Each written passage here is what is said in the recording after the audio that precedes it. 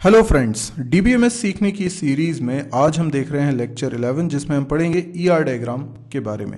ER diagram का एक ये इंट्रोडक्टरी लेक्चर है, जिसमें हम पढ़ेंगे, समझेंगे कि ईआर डायग्राम क्या होता है। बेसिकली हम लोगों को कुछ बेसिक बातें मालूम हैं, जैसे कि हमें मालूम है डेटा क्या होता है। डेटा वो पीस ऑफ़ इंफॉर्मेशन है, जिसको कि हम अपनी एप्लीकेशन में स्टोर करने में इंटरेस्टेड हैं। तो कोई भी एप्लीकेशन हम बना रहे हैं, कोई भी सॉफ्टवेयर हम बना रहे हैं तो कुछ ना कुछ डेटा होता है जिसको कि हम स्टोर करके रखना चाहते हैं। अब ये डेटा को हम स्टोर कहाँ करेंगे? किसी परमानेंट स्टोरेज मीडियम में, जैसे कि हम हार्ड डिस्क में डेटा को स्टोर करना चाहते हैं। तो डेटा स्टोर होता है इन फाइल्स तो एक एप्लीकेशन एक सॉफ्टवेयर से रिलेटेड सारा डेटा स्टोर करने के लिए हमें मे बी एक से ज़्यादा फाइल्स की ज़रूरत हो। फॉर एग्ज़ाम्पल हम चाहते हैं कि एक शॉपिंग मॉल का सॉफ्टवेयर बनाए, या एक स्कूल मैनेजमेंट का सॉफ्टवेयर बनाए, या एक कोचिंग इंस्टीट्यूट के मैनेजमेंट का सॉफ्टवेयर बनाए। तो कोई भी इस तरह का आप सॉफ्टवेयर इमेजिन कर लीजिए, हम लाइब्रेरी मैनेजमेंट सिस्टम का सॉफ्टवेयर बनाना चाहते हैं। तो होगा क्या, इस सॉफ्टवेयर में हमें बहुत सारा डेटा स्टोर करना होगा। For example, library management system software के अंदर आपको बुक्स की डिटेल्स रखना होंगी, आपको जो लाइब्रेरी के मेंबर्स हैं मे बी वो स्टूडेंट्स हैं तो स्टूडेंट्स की इंफॉर्मेशन रखनी होगी। कौन सी बुक किस को इशू की गई है, इसकी इंफॉर्मेशन रखनी पड़ेगी। तो वो तमाम इंफॉर्मेशंस हमको कहीं स्टोर करनी पड़ेगी। तो वो स्टोर करेंगे हम फाइल्स में। ना व्हाट इज़ डेटाबेस डेटाबेस वो जगह है जहाँ पर हम अपने एप्लीकेशन का सारा डेटा रखते हैं।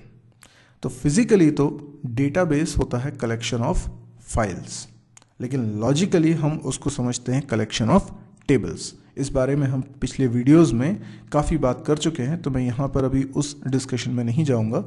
आपको ये पता है कि जितने भी रिलेशनल डेटाबेस मैनेजमेंट सिस्टम्स हैं, चाहे वो ओरेकल हो या माइस्क्यूल हो या एसक्यूल सर्वर हो, ये सभी रिलेशनल डेटाबेस मैनेजमेंट सिस्टम है और इनके लिए, इनके, इनको जब हम यूज़ करते हैं तो हमारा लॉजिकल व्यू ये बनता है कि database is a collection of tables तो डेटाबेस का मतलब हम लोग बहुत अच्छी तरीके से जानते हैं। अब जब भी कोई प्रोजेक्ट बनाया जाता है, कोई सॉफ्टवेयर बनाया जाता है तो उसको कई फेजेस में पूरी जर्नी को डिवाइड किया जाता है। यानी, हम पहले रिक्वायरमेंट गैदर करते हैं, उसको एनालाइज करते हैं, फिर जो आर्किटेक्चरल डिज़ाइन है, वो तैयार करते हैं। हमें कोडिंग में क्या करना है, वो पूरी रूपरेखा तैयार की जाती है और उसके बाद जाके कहीं हम कोडिंग स्टार्ट करते हैं। फिर टेस्टिंग भी एक पार्ट है इम्प्लीमेंटेशन एंड डिप्लॉयमेंट भी एक पार्ट है मेंटेनेंस भी एक पार्ट है। सॉफ्टवेयर लाइफ साइकिल में आप बहुत सारे फेजेस देखते हैं।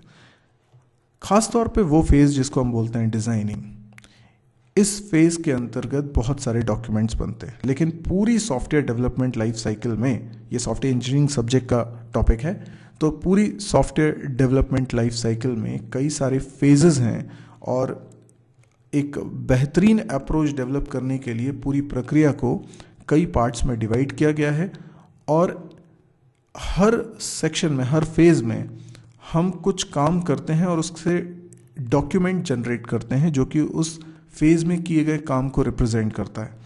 तो over the period of time ऐसा हुआ है कि डॉक्यूमेंटेशन की भी अपनी एक लैंग्वेज तैयार हुई है। तो यहाँ पे हर फ़ेज़ में कुछ डायग्राम्स बनाए जाते हैं जिनके कारण हम बेहतर तरीके से समझ पाते हैं कि उस फ़ेज़ में हमने क्या किया और उसका इस्तेमाल अगले फ़ेज़ में हम कर सकते हैं। इस लैंग्वेज को हम बोलते हैं यूएमएल तो यूएमएल एक डॉक्यूमेंटेशन की लैंग्वेज है और उसी इस लैंग्वेज ने कई सारे डॉक्यूमेंट्स को अपनाया उसमें से ई आर डायग्राम भी एक डॉक्यूमेंट है। तो ई आर डायग्राम बेसिकली हमें कब बनाना चाहिए, क्यों बनाना चाहिए, इस पर हम डिस्कशन कर सकते हैं। पर मैं आपको बताऊँ, किसी भी एप्लीकेशन की बैकबोन होती है डेटाबेस यानी अगर आपका डेटाबेस सही नहीं बना है तो पूरा एप्लीकेशन आपका फेल हो जाएगा। आप उसको स्केलेबल नहीं बना सकते, आप उसको, उसके अंदर बाद में इजीली मॉडिफिकेशन नहीं कर पाएँगे। तो बहुत सारी जो आपकी फंक्शनैलिटीज़ हैं, वो बहुत बारीकी से एनालाइज करके हमें डिसाइड करना होता है कि एक्चुअल में हम अपने प्रोजेक्ट में कितने डेटा को मैनेज करने वाले हैं। और उस डेटा को हम रखेंगे कैसे? तो उसका जो एक रिप्रेजेंटेशन है, वो करने का तरीका होता है ई आर डायग्राम तो ई आर डायग्राम एक डायग्राम है डायग्रामेटिक रिप्रेजेंटेशन है of logical structure of the database यानी हमारा जो डेटाबेस होगा, वो कैसा होगा? है ना? तो वैसे तो हम बोल रहे हैं database is a collection of files लेकिन आरडीबी में सॉफ्टवेयर का परसेप्शन क्या है? Database is a collection of tables तो कितनी टेबल्स बनेंगी? उन टेबल्स के बीच में आपस में क्या रिलेशनशिप होगा? टेबल्स के अंदर कितने कॉलम्स होंगे, उनके क्या नाम होंगे, जिनको हम एट्रीब्यूट्स भी बोलते हैं तो ये सब कुछ हमें ई आर डायग्राम से पता चल सकता है। तो हम लोग एक्चुअल में डेटाबेस क्रिएट करने से पहले ई आर डायग्राम बनाते हैं सो so दैट हम उसको बार बार एनालाइज करके इम्प्रूव कर सकें। हम उसमें देख सकें कि जो हमारे प्रोजेक्ट की रिक्वायरमेंट है, जो हमारे सॉफ्टवेयर की रिक्वायरमेंट है, वो सारी रिक्वायरमेंट इस डेटाबेस में पूरी हो रही है या नहीं, या इसमें और कुछ मॉडिफिकेशन करने की ज़रूरत है। तो ई आर डायग्राम बनाकर हम डेटाबेस को रिप्रेजेंट करते हैं कि डेटाबेस में ये ये चीज़ें होंगी। तो बेसिकली ई आर डायग्राम में ई आर का मतलब होता है एंटिटी रिलेशनशिप तो एंटिटी रिलेशनशिप डायग्राम या एंटिटी रिलेशनशिप मॉडल डिस्क्राइब करता है टेबल्स के बीच के रिलेशनशिप को। पीटर चैन ने ई आर डायग्राम का कॉन्सेप्ट सबसे पहले दिया था 1976 में। बाद में जाके उसे चार्ल्स ने और जेम्स ने कुछ और उसमें रिफाइनमेंट करे, कुछ और कॉन्सेप्ट्स प्रिंसिपल्स उसमें ऐड ऑन करे। आज ई आर डायग्राम को जब हम बनाते हैं तो उसके नोटेशंस में थोड़ा बहुत वेरिएशन हम लोग देखते हैं। अलग अलग ऑथर्स अलग अलग जो ई आर डायग्राम के कॉन्सेप्ट को बनाने वाले लोग रहे हैं, इन्होंने अपने नोटेशंस प्रोवाइड करें। तो यहाँ पर ये डायग्राम में कुछ नोटेशन ज़्यादा फ़ेमस हो गए हैं, कुछ कुछ एक कम्युनिटी ज़्यादा यूज़ कर रही है, कोई दूसरी कम्युनिटी ज़्यादा यूज़ कर रही है तो ये आपकी पर्सनल चॉइस है कि आप किस तरह के नोटेशंस यूज़ करना चाहते हैं। पर एक सिंपल नोटेशन हम लोग यहाँ पर आज सीखेंगे। जो सबसे इंपॉर्टेंट चीज़ होती है ई आर डायग्राम में, वो होती है एंटिटी एंटिटी को ही हम लोग सबसे पहले रिप्रेजेंट करने के बारे में सोचते हैं। एंटिटी क्या है? ऑब्जेक्ट क्या है? ये हमारे सिस्टम की वो चीज़ है जिसके बारे में हम इंफॉर्मेशन रखने में इंटरेस्टेड है। तो फॉर एग्ज़ाम्पल अगर मैं एक कोचिंग इंस्टीट्यूट का सॉफ्टवेयर सोचूं तो कोचिंग इंस्टीट्यूट में सबसे मेन एंटिटीज़ क्या हैं जिनके बारे में हमें इंफॉर्मेशन रखनी है? तो एक तो होगी स्टूडेंट स्टूडेंट के बारे में हमें इंफॉर्मेशन रखनी तो स्टूडेंट एक एंटिटी है। इसी प्रकार से फैकल्टी फैकल्टी भी एक एंटिटी हो गई। इसके अलावा बैच कोर्स ये सब एंटिटीज़ हैं जिनके बारे में हमें इंफॉर्मेशन रखनी है। अब स्टूडेंट के बारे में क्या इंफॉर्मेशन रखनी है? स्टूडेंट का नाम रखना है, उसका फ़ोन नंबर रखना है, उसका एड्रेस रखना है, उसका ईमेल आईडी रखना है, उसका सेमेस्टर रखना है, उसका कॉलेज का नाम रखना है। तो ये सारी चीज़ें स्टूडेंट एंटिटी से जुड़ी प्रॉपर्टीज़ हैं, जिनको हम एट्रीब्यूट्स बोलते हैं। एट्रीब्यूट्स भी बोल सकते हैं प्रॉपर्टीज़ भी बोल सकते हैं। डीबीएमएस में जो ज़्यादा प्रचलित नाम है, वो है एट्रीब्यूट तो जिस भी एंटिटी की हम इंफॉर्मेशन रखना चाहते हैं, वो इंफॉर्मेशन बेसिकली प्रॉपर्टीज़ हैं एट्रीब्यूट्स हैं, जिनकी वैल्यू रखने में हम इंटरेस्टेड हैं।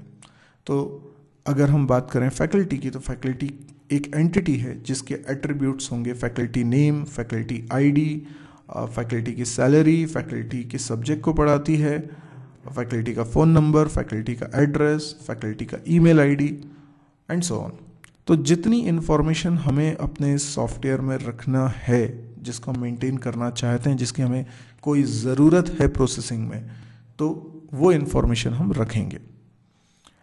बैच जैसे कोचिंग्स में बैचेस होते हैं तो एक बैच भी एक एंटिटी है, जिसके एट्रीब्यूट्स हो सकते हैं बैच कोड होगा बैच के टाइमिंग्स होंगे बैच की स्टार्टिंग डेट होगी बैच के डेज़ होंगे बैच में कितने स्टूडेंट्स हैं, बैच को कौन सी फैकल्टी पढ़ा रही है, बैच किस कोर्स का है, इस तरीके से बैच के एट्रीब्यूट्स होंगे। कोर्स के भी एट्रीब्यूट होंगे कोर्स का नाम क्या है, उसका सिलेबस क्या है, उसका ड्यूरेशन क्या है, उसकी फ़ीस क्या है, ये सब कोर्स के एट्रीब्यूट्स होंगे।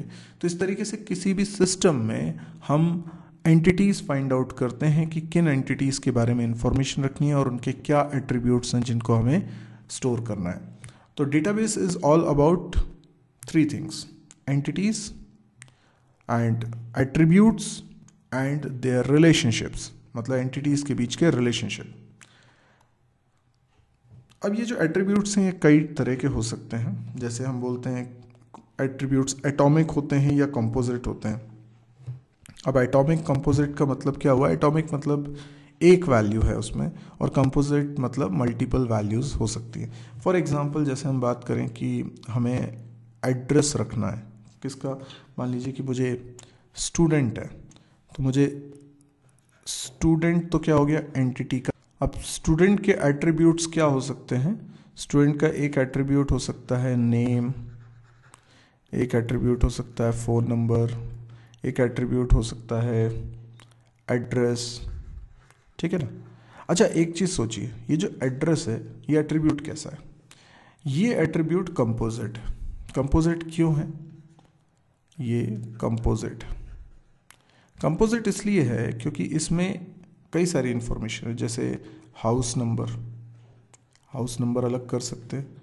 फिर इसमें लेन होगी। ठीक है? लेन के अलावा फिर अपार्टमेंट हो सकता है। ठीक है?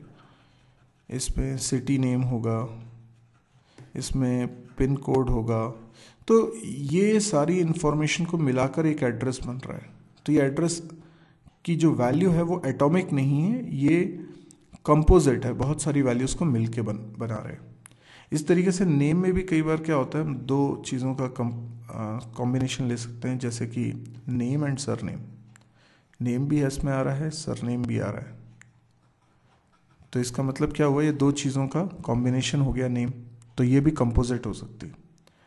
एटॉमिक कैसे हो होगी? जैसे अब मैंने बोला एज एज भी एक इन्फॉर्मेशन हो सकती है जो हम इसके बारे में रखना चाहते हैं। अब एज की जो वैल्यू है, वो तो एक सिंगल वैल्यू ही होगी तो वो एटॉमिक है। एटॉमिक मतलब एक वैल्यू ठीक है? अच्छा दूसरा है single valued and multi valued अब सिंगल वैल्यूड और मल्टी वैल्यूड का क्या मतलब है? ये कंपोजिट से अलग है। कंपोजिट तो क्या है? दो अलग अलग इन्फॉर्मेशन को मिलाकर, दो या दो से ज़्यादा अलग अलग इन्फॉर्मेशन को मिलाकर अगर इन्फॉर्मेशन बन रही है तो वो कंपोजिट है। लेकिन जैसे फ़ोन नंबर है तो फ़ोन नंबर क्या हो सकता है? मल्टी वैल्यूड हो सकता है। जैसे मेरे पास एक मोबाइल नंबर भी है और मेरे पास दो मोबाइल्स हैं तो दो मोबाइल नंबर है मेरे पास और एक लैंडलाइन नंबर भी है। तो ये तीन अलग अलग इन्फॉर्मेशंस हैं, लेकिन सारी हैं फ़ोन नंबर से। ठीक है? तो ये भी एक फ़ोन नंबर है, ये भी एक फ़ोन नंबर है। यहाँ पे कंपोजिट में क्या हो रहा था? कंपोजिट में ये जो अलग अलग इन्फॉर्मेशन ये मिलकर एक एड्रेस बन रहा है। नेम में भी नेम और सरनेम मिलकर नेम बन रहा है। जबकि फ़ोन नंबर में ये तीनों इन्फॉर्मेशन मिलकर एक फ़ोन नंबर बन रहा है, ऐसा नहीं है।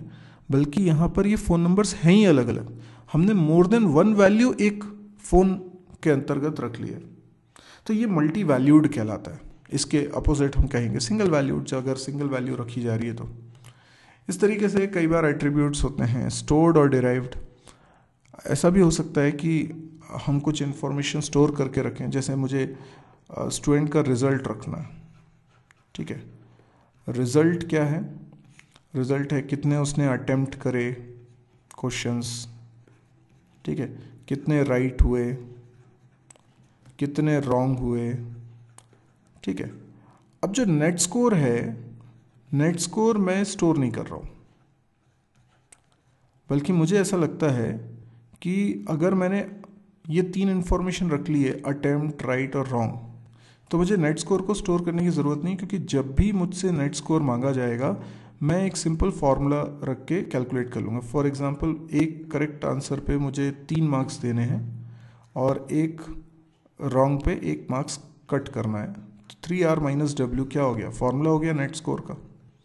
तो ये जो एट्रीब्यूट है, ये एट्रीब्यूट बेसिकली हम स्टोर नहीं कर रहे हैं, लेकिन जब ज़रूरत पड़ेगी हम निकाल लेंगे, इसको बोलते हैं डिराइव्ड एट्रीब्यूट ये डिराइव हो रही मतलब इसकी वैल्यू हम सीधे सीधे फ़ीड नहीं कर रहे ठीक है डेटाबेस में हम इसको स्टोर भी कर सकते हैं, लेकिन इसकी जो वैल्यू आ रही है वो कहाँ से आ रही है?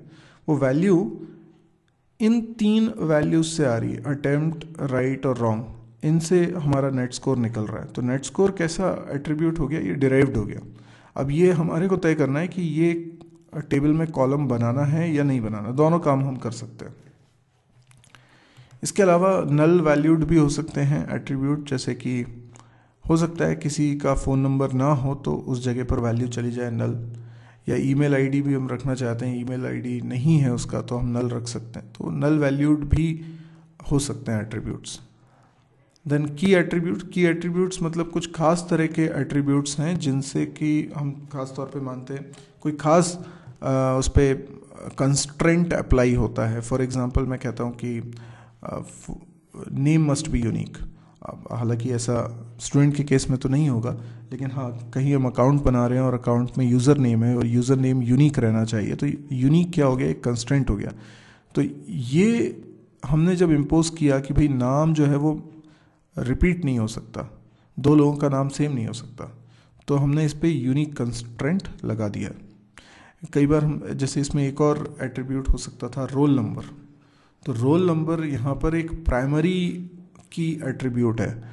क्यों? क्योंकि हर स्टूडेंट का हो सकता है नाम मैच कर जाए, दो लोगों का नाम मैच कर जाए, हो सकता है एक ही घर से दो बच्चे हों तो एड्रेस भी मैच कर जाए फ़ोन नंबर भी उन्होंने अपने पेरेंट का दिया है तो वो भी सेम हो जाए। एज भी सेम हो सकती है कई सारे स्टूडेंट की। तो हम दो अलग अलग स्टूडेंट के डेटा में फ़र्क नहीं कर पाएँगे अगर उनकी वैल्यूज़ मैच कर गई तो। लेकिन रोल नंबर एक ऐसी इन्फॉर्मेशन होगी जो गारंटेड मैच नहीं करेगी दो स्टूडेंट्स में। तो जब मैच नहीं करेगी तो रोल नंबर एक ऐसा, ऐसी एट्रीब्यूट हो गया जिससे कि हम पूरे डेटा को यूनिकली आइडेंटिफाई कर सकते हैं। तो अगर मेरे पास बहुत सारे स्टूडेंट्स का डेटा है और मुझे रोल नंबर बताते हो तो मैं एक पर्टिकुलर एक ही डेटा आपको निकाल के दे पाऊँगा। और अगर आप मुझे नेम बताते हो तो बहुत सारे लोगों का नाम सेम हो सकता है। आपने कहा कि राहुल राहुल का डेटा दीजिए। तो अब हो सकता है बहुत सारे स्टूडेंट हो जिनका नाम राहुल हो। तो रोल नंबर एक ऐसी इन्फॉर्मेशन होगी जो प्राइमरी की एट्रीब्यूट कहलाएगी इस टेबल में। तो हमें समझ में आया कि एट्रीब्यूट्स कई प्रकार के होते हैं, कई तरह की डेफिनेशन होती है और इसमें बहुत डिटेल में जाया जा सकता है। अभी लेकिन हमने ई आर डायग्राम को सिंपल बनाने के लिए कुछ थोड़े से एट्रीब्यूट्स के बारे में समझा है। ई आर डायग्राम जब हम बनाते हैं तो इसमें कुछ सिम्बॉल्स यूज़ किए जाते हैं, कुछ डायग्राम हम बना रहे हैं। तो ये रेक्टेंगल शेप हम यूज़ करते हैं एंटिटीज़ को रिप्रेजेंट करने के लिए। एंटिटीज़ बेसिकली टेबल्स है। तो जैसे मैं अगर एक सॉफ्टवेयर बनाता हूँ कोचिंग इंस्टीट्यूट के लिए तो मैं मानता हूँ कि एक एंटिटी होगी स्टूडेंट तो मैं डायग्राम में एक रेक्टेंगल बनाऊँगा और उसके अंदर लिख दूँगा स्टूडेंट ठीक है? फिर मुझे लगा एक एंटिटी होनी चाहिए बैच तो मैंने लिख दिया बैच फिर मैंने कहा एक एंटिटी होनी चाहिए कोर्स तो मैंने कोर्स नाम से एक एंटिटी बना ली. इसी तरीके से मैंने कहा, एक एंटिटी होनी चाहिए फैकल्टी तो फैकल्टी नाम से भी एक रेक्टेंगल बॉक्स बना लिया जो कि एंटिटी को रिप्रेजेंट कर रहा है। तो इस डायग्राम में जितने रेक्टेंगल्स दिखाई दे रहे हैं, वो एंटिटीज़ को रिप्रेजेंट कर रहे हैं। दो एंटिटीज़ के बीच में रिलेशनशिप हो सकता है। इस रिलेशनशिप को हमें डायमंड बॉक्स से डिनोट करना होता है। तो जैसे स्टूडेंट और बैच में कुछ रिलेशन हो सकता है। ऑब्वियसली रिलेशन है। क्योंकि स्टूडेंट बैच को बिलोंग करता है तो हम इस तरीके से डायमंड शेप यहाँ बीच में बना देते हैं और दोनों के बीच में कनेक्शन कर देते हैं। अब ये कनेक्शन जब हमने किया तो यहाँ पर हमें कोई वर्ब लिखनी होती है, जो एक्चुअल में इन दोनों के बीच के रिलेशनशिप को डिपेक्ट करेगी। तो student belongs to a batch है ना? कुछ भी आप यहाँ पे ऐसी वर्ब लिखिए जिससे समझ में आए। Student belongs to a batch तो हम यहाँ लिख रहे हैं बिलोंग्स ठीक है? तो बिलोंग्स टू तो student belongs to a batch ठीक है? फिर कोर्स और बैच के बीच में भी कुछ रिलेशनशिप हो सकता है। uh, क्योंकि जो बैच बनता है वो किसी एक कोर्स का होता है है ना? uh, तो यहाँ पर इन दोनों के बीच में भी रिलेशनशिप है।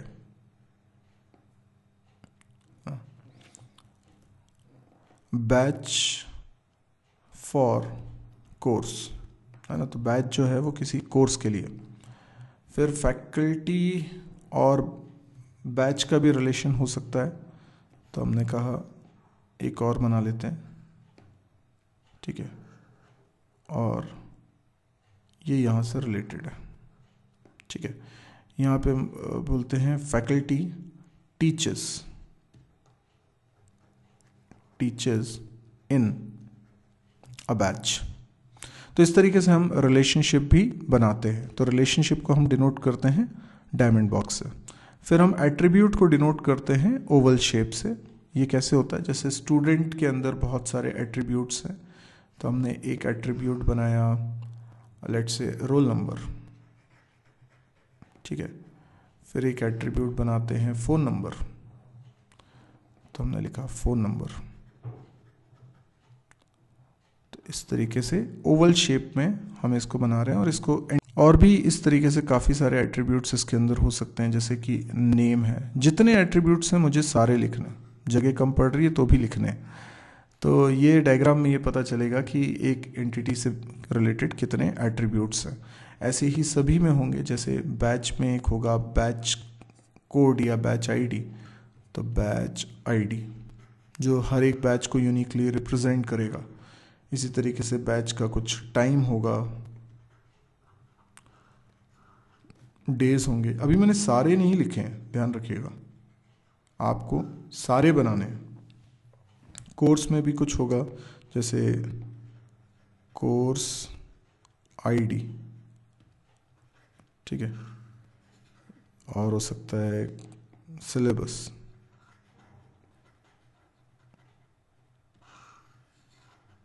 ठीक है फ़ीस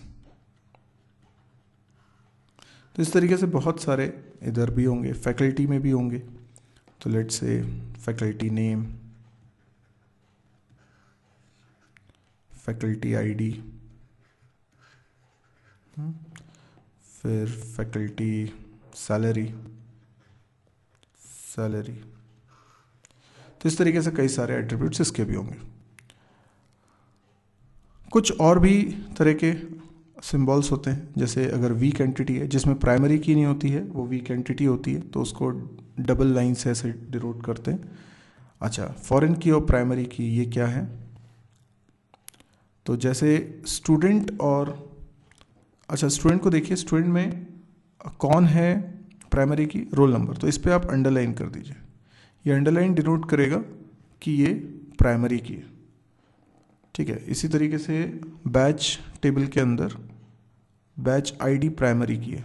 वो एट्रीब्यूट जिससे कि उस टेबल के रिकॉर्ड्स को यूनिकली आइडेंटिफाई किया जा सके। यहाँ जैसे कोर्स आईडी है यहाँ पर जैसे फैकल्टी का आईडी है। तो जो जो एट्रीब्यूट इस तरह के हैं उन पर अंडरलाइन करिए। एक एंटिटी के लिए ऐसा एक ही एट्रीब्यूट होगा जिस पर आप अंडरलाइन करोगे। अच्छा आ, ऐसा भी हो सकता है कि फॉरेन की हमें बनानी हो। अब फॉरेन की कैसे बनानी होगी? जैसे एक बैच में कई सारे स्टूडेंट्स हैं और एक स्टूडेंट भी कई सारे बैचेस में हो सकता है। तो स्टूडेंट और बैच के बीच में जो रिलेशनशिप है, ये भी एक टेबल बननी चाहिए। इस टेबल के अंदर एक एट्रीब्यूट रहेगा रोल नंबर और एक एट्रीब्यूट रहेगा बैच आईडी। आप देख सकते हैं कि ये एट्रीब्यूट बैच टेबल से लिया गया है और ये एट्रीब्यूट स्टूडेंट टेबल से लिया गया है। अगर आप समझ पा रहे हैं तो यहाँ पर इसलिए ऐसा किया जा रहा है क्योंकि एक स्टूडेंट कई सारे बैचेस में हो सकता है। अब इसको प्रॉपरली समझने के लिए एक छोटा सा एग्जांपल आप देखिए। मान लीजिए, हमारे पास स्टूडेंट्स हैं S one S two S three ऐसे कई सारे स्टूडेंट्स हैं। ये मैंने लेट से रोल नंबर लिखे हुए हैं। सबका कुछ नाम होगा फ़ोन नंबर होगा, सारी डिटेल्स होंगी। ऐसी कुछ और बैचेस हैं। लाइक बैचेस हैं बी वन बी टू दो बैचेस चल रहे हैं। तो स्टूडेंट टेबल में ये तीन रिकॉर्ड्स हैं और बैच टेबल में ये दो रिकॉर्ड्स अब ये जो एस वन स्टूडेंट है, हो सकता है ये बी वन बैच में हो और साथ में ये बी टू बैच में भी पढ़ता है, जबकि S two B one batch में ही पढ़ता है और एस थ्री ये बी टू बैच में पढ़ता है। आप देख रहे हैं कि स्टूडेंट की इंफॉर्मेशन स्टूडेंट टेबल में, बैच की इंफॉर्मेशन बैच टेबल में, लेकिन स्टूडेंट और बैच की कॉम्बिनेशन को अपन एक अलग टेबल में रखना चाहेंगे, क्योंकि एस वन एक ही बैच में हो ये नहीं है। यहाँ S one B one batch में भी है बी टू बैच में भी है। तो ये इन्फॉर्मेशन मैं स्टूडेंट टेबल में तो नहीं रख सकता। क्योंकि स्टूडेंट टेबल में अगर मैं बैच की इन्फॉर्मेशन रखूँगा तो एस वन वाली रो में या तो मैं बी वन लिख पाऊँगा या बी टू लिख पाऊँगा। इसी तरीके से बैच टेबल के अंदर भी मैं स्टूडेंट की इन्फॉर्मेशन नहीं रख सकता, क्योंकि एक बैच में बहुत सारे स्टूडेंट्स हैं। तो एक रो के अंदर मैं जब बैच की इन्फॉर्मेशन रख रहा हूँ तो उसमें किसी एक स्टूडेंट की इन्फॉर्मेशन रख पाऊँगा ज़्यादा से ज़्यादा। तो हमने उसका तरीका ये निकाला कि बीच में एक और टेबल बना लेते हैं। और दोनों की प्राइमरी की इस टेबल में रख लेते हैं। अब इस टेबल से मुझे ये पता चल जाएगा कि कौन सा स्टूडेंट किस बैच में तो यहाँ पर स्टूडेंट का रोल नंबर भी है और यहाँ पर बैच का आईडी भी है। तो इस नए टेबल में स्टूडेंट का रोल नंबर फॉरेन की है। तो इसको मुझे डैश्ड अंडरलाइन से डिनोट करना है। और ये इस टेबल में तो फॉरेन की है। फॉरेन की क्यों है? क्योंकि एक्चुअल में किसी और टेबल की प्राइमरी की है। तो स्टूडेंट टेबल में रोल नंबर प्राइमरी की है तो वही की अगर मैंने दूसरे टेबल में यूज़ करी है तो वो फॉरेन की है। फॉरेन की रिपीट हो सकती है, लेकिन स्टूडेंट टेबल के अंदर रोल नंबर रिपीट नहीं हो सकता क्योंकि वो प्राइमरी की है। तो जब एक ही स्टूडेंट कई सारी इंफॉर्मेशन से अटैच्ड है तो आपको ऐसा करना पड़ेगा। इस तरीके से बैच टेबल में बैच आईडी प्राइमरी की है तो वो रिपीट नहीं हो सकती। लेकिन ये बीच में जो टेबल है, उसमें बैच आईडी रिपीट हो सकता है। जैसे कि बी वन भी रिपीट हो रहा है बी टू भी रिपीट हो रहा है। तो इसलिए बैच आईडी यहाँ पर फॉरेन की होगा। तो इसको हमें डैश्ड लाइन से डिनोट करना है। तो ये तो है हमारे नोटेशंस हैं। नोटेशंस और भी हैं, लेकिन बहुत डिटेल में अगर जाना चाहें तो जा सकते हैं। अभी ये बेसिक इंट्रोडक्शन लेक्चर है तो इसमें इतना सफिशेंट होगा। और बेसिक बनाने के लिए इतने से काम आपका चल भी जाएगा। एक और इंपॉर्टेंट चीज़ होती है दैट इज़ कॉल्ड कार्डिनैलिटी दो दो एंटिटीज़ के बीच में जो रिलेशनशिप है, उसमें कार्डिनैलिटी भी हमें शो करनी होती है। अभी क्या होती है, इसको समझते हैं। जैसे यहाँ पर हम स्टूडेंट और बैच के बारे में समझे तो एक स्टूडेंट कई सारे बैच में हो सकता है। ठीक है? मैं इसको एक सेपरेट डायग्राम से आपको समझाता हूँ। मान लीजिए एक टेबल है स्टूडेंट नाम की। ठीक है? और एक टेबल है बैच नाम की।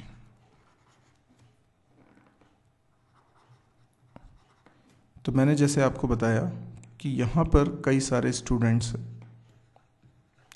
यहाँ पर कई सारे बैचेस हैं। अब आप इनके बीच में रिलेशनशिप बताइए। रिलेशनशिप मेजरली क्या होता है? या तो वन टू मैनी होता है, या फिर मैनी टू वन भी वही बात है, दूसरे डायरेक्शन से देख रहे हैं बस आप। वन टू वन होता है रिलेशन या फिर मैनी टू मैनी होता है। आप ये तीन मेजर मान लें, हालाँकि इसमें भी हम और बायोफ्रिकेशन कर सकते हैं, लेकिन तीन मेजर तो स्टूडेंट एक स्टूडेंट एक से ज़्यादा बैचेस में हो सकता है। देखिए, ये इससे भी मैप है, और एस वन हो सकता है बी टू बैच में भी हो। और एक बैच में हो सकता है एक से ज़्यादा स्टूडेंट भी हो।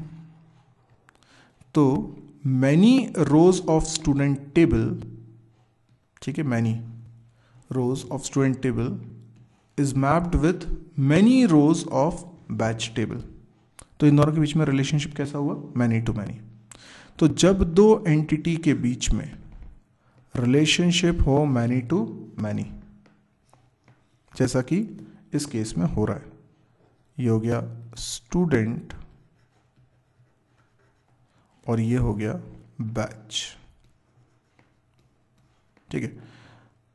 तो जो इनके बीच का रिलेशनशिप है, वो भी एक टेबल बनेगी, जब भी मैनी टू मैनी है।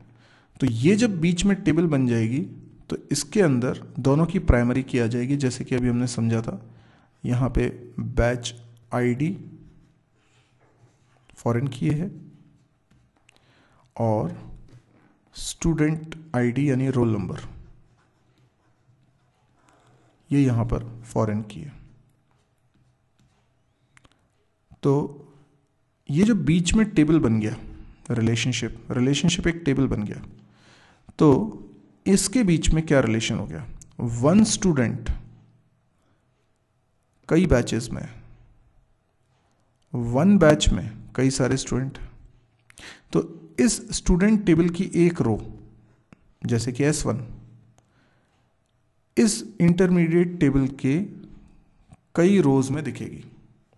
तो एस वन यहाँ पर एक बार है, पर इस टेबल में कई बार हो सकता है। तो ये वन टू मैनी रिलेशनशिप हो गया।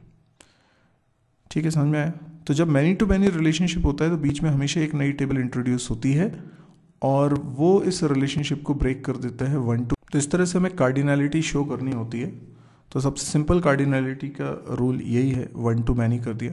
हालाँकि इसमें बहुत डीप में जाया जा सकता है। जैसे हम यहाँ पे बात कर सकते हैं, एक सिटी नाम का टेबल है। और एक स्टेडियम नाम का टेबल। ठीक है तो ये स्टेडियम्स हैं, एस वन, एस टू, ठीक है। ये सिटी हैं, सी वन, सी टू। अब आप बताइए कि हर सिटी में स्टेडियम होगा, ये ज़रूरी है? कोई ज़रूरी नहीं है। तो एक सिटी में एक से ज़्यादा स्टेडियम भी हो सकते हैं। एक स्टेडियम लेकिन एक ही सिटी में होगा। तो वन स्टेडियम वन सिटी में ही होगा। पर वन सिटी में मैनी स्टेडियम्स हो सकते हैं। ठीक है? पर एक सिटी में ज़ीरो स्टेडियम्स भी हो सकते हैं। तो ये जो मैनी है ना, मैनी में कंपलसरी नहीं है कि ये पार्टिसिपेट करे।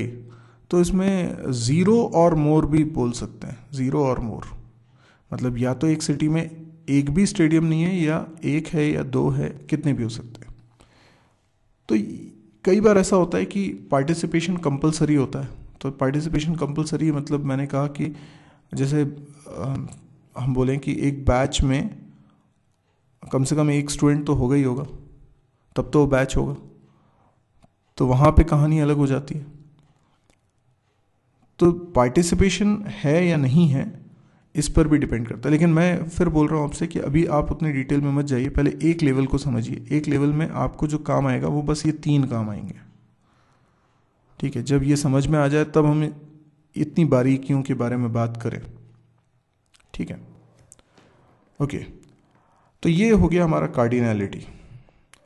अब एक एग्ज़ाम्पल आप इस स्क्रीन को पॉज करके इसको अच्छे से पढ़िए, और ये एक एग्ज़ाम्पल है जिसका कि आपको ई आर डायग्राम बनाना है। आई होप आपने स्क्रीन को पॉज कर लिया होगा, इसको आराम से पढ़ लिया होगा। अब मैं इसका सोल्यूशन आपको बताने जा रहा हूँ। सबसे पहली बात तो ये कि यहाँ पर सिस्टम क्या कह रहा है कि a country bus company owns a number of buses तो आप पहले यहाँ पे अंडरलाइन करिए कौन कौन सी आपको एंटिटीज़ नज़र आ रही हैं। तो जब आपने इसको पूरे को पढ़ा तो आपको समझ में आया कि यहाँ पर एक एंटिटी होगी बस एक होगी रूट एक होगी टाउन एक होगी ड्राइवर एक होगी स्टेज एक होगी कैरेज इनके बारे में आप इन्फॉर्मेशन रखना चाहते हैं। फिर आप जब इसका ई आर डायग्राम बनाते हैं तो वो कुछ इस तरीके से बनता है। देखिए अब आप लोगों ने कैसा बनाया आप उसको देखिए और फिर आप इसको देखिए। तो यहाँ पर हमने कहा था कि एक बस एक से ज़्यादा रूट पे चल सकती है पर। तो ए, एक सॉरी मैंने उल्टा बोल दिया। मैं कह रहा हूँ एक रूट पे एक से ज़्यादा बसेस चल सकती हैं। तो एक रूट है। अच्छा इसका मतलब क्या हुआ? जैसे मान लीजिए बहुत सारे टाउन्स है। ये एक टाउन है, ये एक टाउन है, ये एक टाउन है, ठीक है, ये एक टाउन है। बीच में एक और बना लेते हैं। ये भी एक सिटी है हाँ ये सब टाउन्स हैं। तो अब कोई बस चलेगी तो कैसे चलेगी? ठीक है, ये मैंने कुछ सिटीज़ टाउन्स बना लिए। अब रूट कैसा हो सकता है? मैं रूट बनाता हूँ। तो हो सकता है एक रूट ऐसा हो। यहाँ से जा रहे हैं, यहाँ से जा रहे हैं, यहाँ से जा रहे हैं। ठीक है, यहाँ से जा रहे हैं, यहाँ से जा रहे हैं। ये एक रूट। है सकता है एक और रूट में बनाता हूँ और ये रूट ऐसा है। ये ऐसा गया ऐसा गया, यहाँ से ऐसा गया, यहाँ से ऐसा गया। ये ऐसा ऐसा गया। हो सकता है एक और रूट हो। तो हो सकता है वो इस तरीके से जा रहा हो।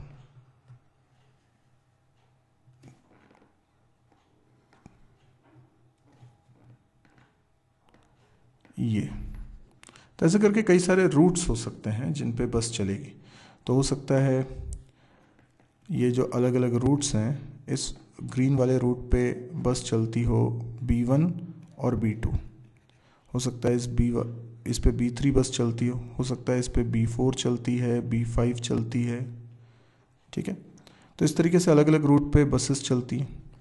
हो सकता है किसी टाउन में गैरेज हो, किसी में नहीं हो।